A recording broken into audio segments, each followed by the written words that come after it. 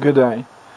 My name's Graham Gordon Thomas and I'd like to make a few comments about the pyramids.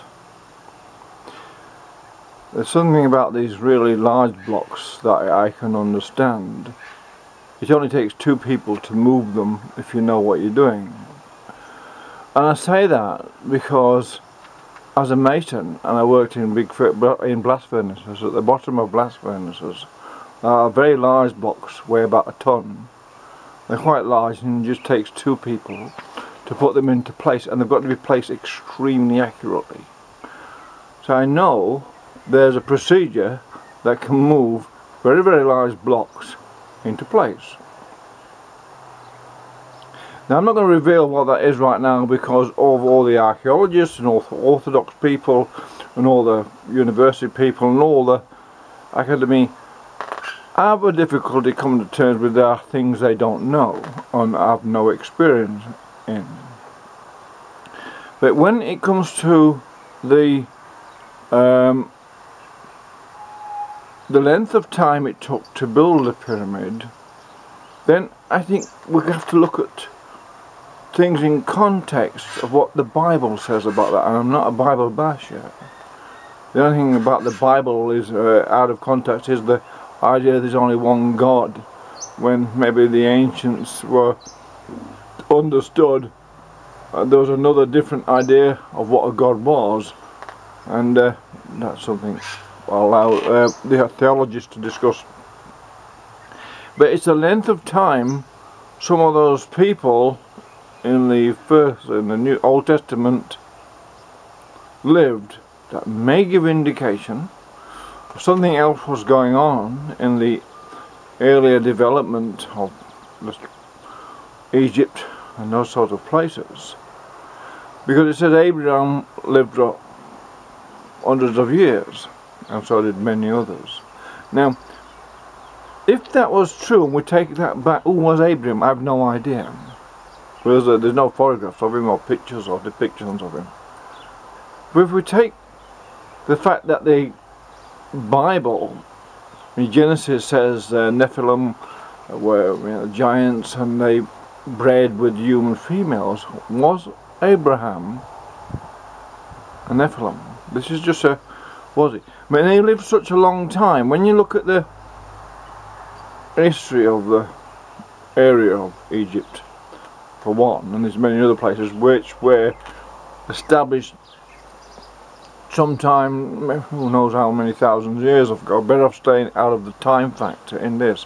But the amount of time he was alive says that, yes, some leader could have built a pyramid, the big pyramid, in their lifetime, because that would allow then the length of time required to put two and a half million blocks away. Now putting, we know if you want to put two and a half, I've worked on jobs that there has been millions of blocks and some large ones. I know how much organisation is involved in a job with three and a half million blocks. And I know how long it takes and I know how many men is required to do that job. How long it takes to lay the type of blocks they are and prepare them each block has to be cut for a pyramid which how long does that take? Imagine how long it takes to cut each block. No matter even if you use technology even if you use a saw or other technology to remove the blocks from the rock quarry you have to transport them all the logistics put them all together. You're not going to place those blocks in that pyramid in 20 odd years it may have taken hundreds of years and I'm suggesting it was a very, very long-term project. Somebody had, whoever it was, had very long-term ideas about establishing a colony on Earth of these superior people, using Earth people or humans, normal humans, as a sort of workforce.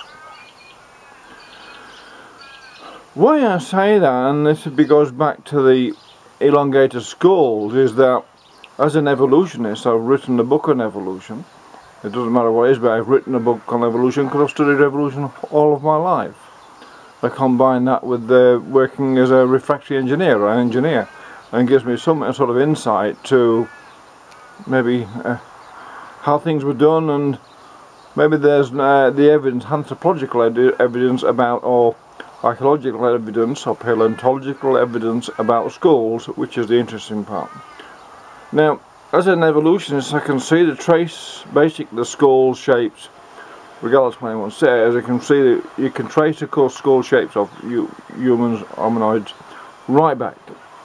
There are some links missing, but we can understand why they are missing because of the geology, the ice ages, etc., etc., etc. That means that it's not that easy to preserve skeletons when there's great catastrophes and all that sort of stuff.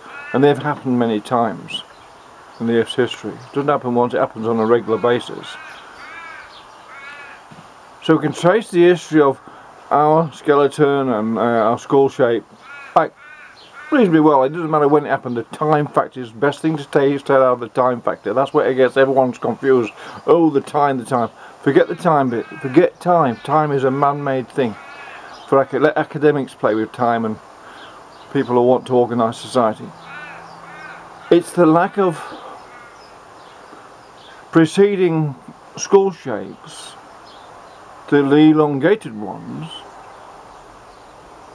that is the evidence that there possibly were aliens.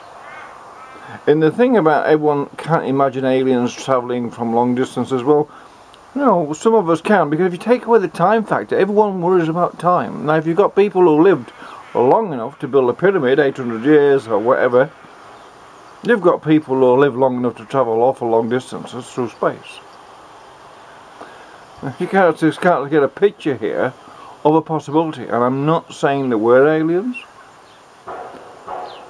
I'm not saying any of these things may be fact, but I'm saying you can look at evidence and look at the uh, what happened from a different perspective if you know that not everything in the Bible is true, but a lot of it may well be based on some sort of observation and how long these people live, Well, everyone poo-poos it, we all have. Then you think about it.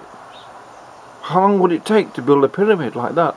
the big pyramids in Egypt, the major ones that all everyone the major attractions.